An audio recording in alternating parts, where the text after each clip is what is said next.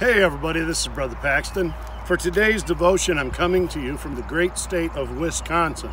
I want to read from Psalm 27, verse 1, and then I also want to read Psalm 34, verse 19.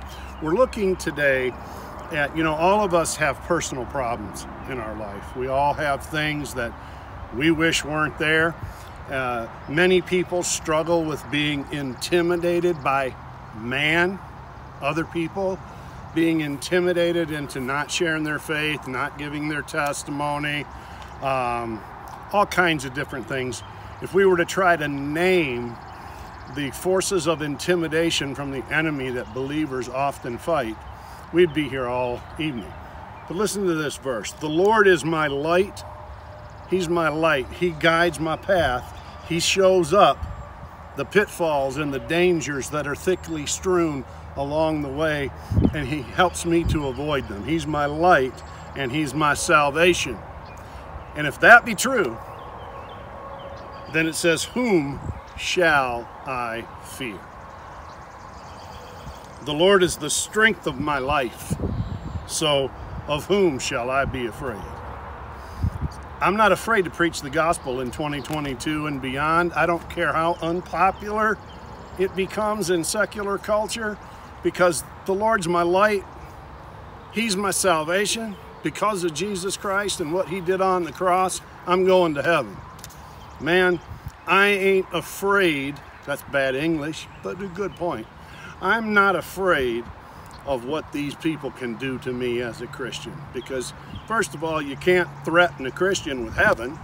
And secondly, as long as I have breath in my lungs, because of what Jesus did for me, I'm going to proclaim his goodness. I'm going to proclaim his glory. And I'm going to proclaim his gospel by the help and grace of God Almighty.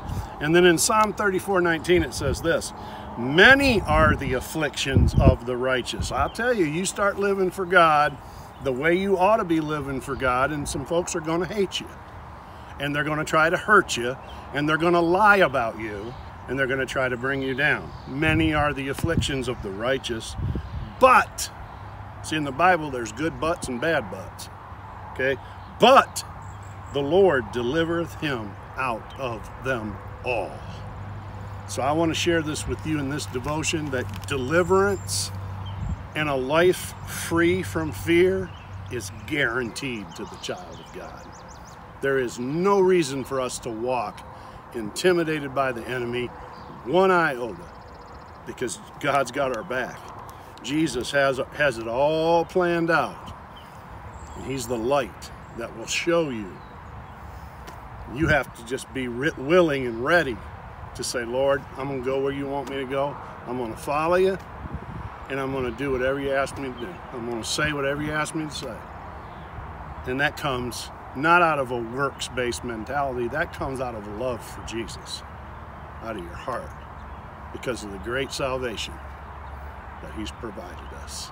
This Brother Paxton saying, go with God, and he will go with you. Bless you.